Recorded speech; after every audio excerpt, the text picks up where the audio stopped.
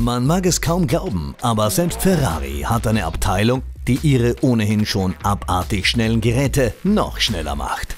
Was für Mercedes AMG ist für Ferrari das FXX-Programm.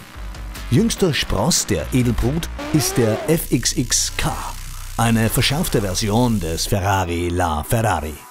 Der FXXK ist wie alle Fahrzeuge des FXX-Programms nicht mehr straßenzugelassen, sondern rein für die Rennstrecke.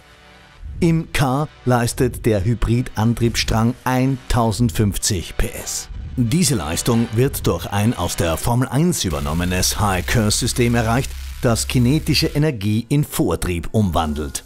Wer einen Ferrari FXXK kauft, ist automatisch ein Testfahrer und absolviert mit dem K ein zwei Jahre andauerndes Erprobungsprogramm.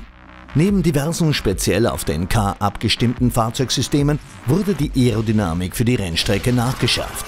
Preise nennt Ferrari übrigens keine, aber man wird wohl astronomische Summen für einen K bezahlen müssen.